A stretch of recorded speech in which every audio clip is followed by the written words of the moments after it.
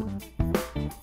Estão abertas até 27 de agosto as inscrições para a segunda edição do Prêmio Inovadores com Menos de 35 anos, que conta com o apoio da financiadora de estudos e projetos, FINEP.